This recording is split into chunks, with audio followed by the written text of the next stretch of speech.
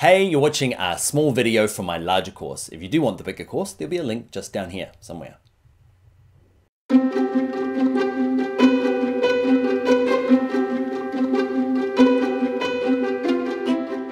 All right, so now we get to make mock-ups, well, kind of, okay? And before we actually start doing the kind of wireframing and those types of things, we need to get a kind of a features list, okay? What are we gonna include in this new app, this new website, this extra feature? Okay, you might have a core nugget of an idea, but you need the kind of supporting stuff as well. What other features does it need to have to make it work? Okay, and this is where you do it again as a group team. Okay, so you want to make sure everybody's on board and, and kind of singing from the um, same song sheet.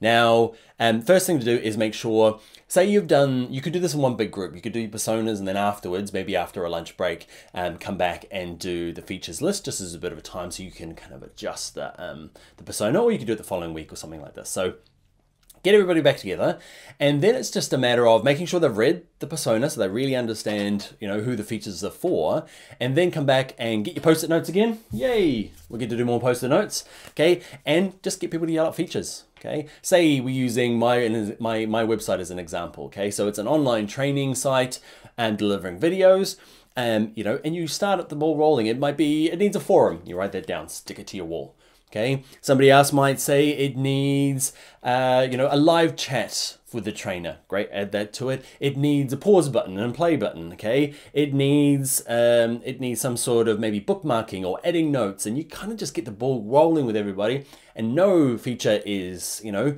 bad. Just add them all on there stick them to the wall, and once you've got a kind of a, um, a group together, uh, you know, a bunch of them together, where you've exhausted your features list, you might have hundreds, okay? You might have 10, there might be, you know, it might be, yeah, there might be loads, it might be only a little bit. So group them all together, and, and any features that are kind of very similar, you know, stick together on your whiteboard, okay? Put them overlapping and say that that's kind of the same thing, so cut it down. Then remove anything that are like essential. And for mine, mine's a video training site, so there's no point talking about the value of having a video on the page. It's the most important, yes, and that's always gonna win, but it's essential. And for me, um, mine's a paid subscription site.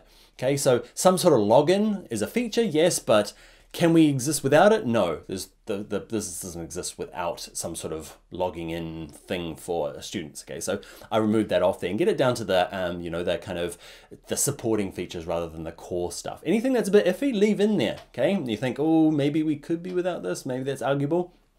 Leave it in there. Okay, then um, uh, then you need to prioritize. Okay, you might have a big list, and then what do you work on? Because the developer might be thinking it definitely needs this thing. Okay, it needs the forum because that's what his experience, life experience, that's what's going to be really good for this thing. And the CEO though might be thinking, you know, the whole reason for this thing is to have, you know, I don't want this interaction with students. I want it to be kind of like a uh, a zombie website where it goes off and looks after itself. He doesn't want a big support team and people running it. So you've got to get, you know, get all these ideas and then you've got to prioritize them. Okay, so the way to prioritize them, there's a couple of ways. The easy ways, you just sit around and do it together. Okay, um, and you maybe there's the monopoly money way where you all sit down and you buy features. Okay, so you go through all the feature lists and try and cut it down to a reasonable amount. If there's some really weird stuff, okay, you might remove it off, okay, but get it down to maybe 10 or 20, and then you can do stuff, give everybody some Monopoly money, and you get them to, you pull up one post-it note, you stick it there, and you say, all right, how much people going to spend on this? Um, you know, what, how, how, how much value do they think it has? And they might get given, you know, a thousand um, fake dollars. If you don't have Monopoly money, you can use anything. You might be trading pens or coins or whatever's lying around the office, okay? And it, it, it makes people assign a value and in saying that, it makes them take a value away from something else. Because you can't say that is the top, that is also the top, which people do. They have to be both the top. They can't be. You have to start somewhere. You have to do something. So you need some sort of ordering. So that you might say, you know, put up a feature, and for me, it might be the forum. So I think that's really valuable. I might cough up 500 bucks for that one, knowing that I've only got 500 to, you know, to go around the other ones. And it kind of, you can just pile the money on top and then count it at the end. Okay, then you've got a priority list. You start at whoever got the most money and work your way back through that list. And because you've all done it together, it's a really nice way of doing it because it means that the developer who had a different idea from the CEO doesn't go, well, my idea is better. Why isn't he doing it? Because they've had that chat. By putting the money down, conversations start happening and you start working out priorities and everybody starts getting on the same page. You might disagree, But um, it doesn't matter because you've you've kind of been part of why you know you understand the reasoning why these people have gone this way, and it might help things like you know because often a new idea it's the the idea for these are kind of locked in people's head, especially the kind of um, you know the owner or the the people people, people initiating the, the the project. They might have it in there and know what they want to do, but the other people don't know. Okay, so it kind of elicits all that sort of conversation. So that's one way of doing buying money. It's one way. Um, problem with that way is, in which you can get round, is kind of more like a poker version of that exact same thing. Give everybody the money, and what you do is you put the feature out, and everybody has to put down at the same time.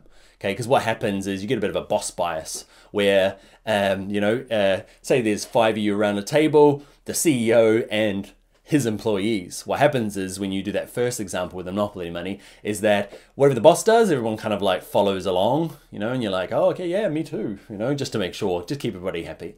Okay. And whereas if you do more of a poker one where everyone has to kind of be, you turn into a poker, like a poker kind of style thing, and you try and make a game out of it because you don't want people to be caught out or feel bad.